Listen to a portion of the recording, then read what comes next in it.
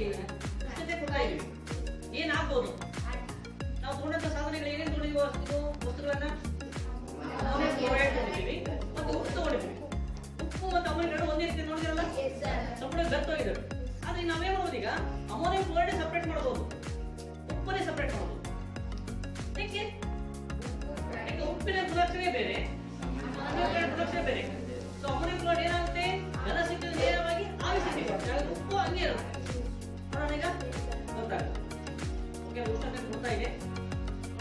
डाल कर हमको। इधर से आपने